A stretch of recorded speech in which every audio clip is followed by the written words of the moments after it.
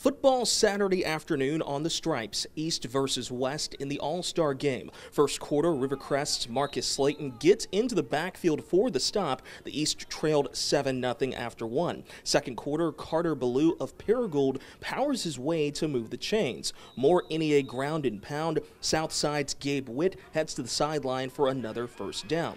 Then Rivercrest's Kobe Turner gets inside the five. It's first and goal. Keelan Mills of West Memphis caps the drive with a touchdown. PAT good. We're tied up at seven at the half. Third quarter, Mills on the move drops a dime to Turner. The East is in prime field position. A few plays later, Reagan Womack of Pocahontas makes his way inside the five. It's first and goal. The Harding signee caps the drive with a score. The East takes a 14 7 lead. West responds less than a minute later. Bryce Perkins of Van Buren up top. Hot Springs as TJ Brogdon hauls it in for the touchdown down, PAT no good, so the East is up 14 to 13 after three. Less than two minutes to go, West needs to convert a fourth down. Perkins evades pressure, takes it to the sideline for a first down. Then Perkins lobs it. KT Thomas of Mineral Springs makes the grab inside the five. It's first and goal. Very next play, Thomas heads outside and finds the end zone.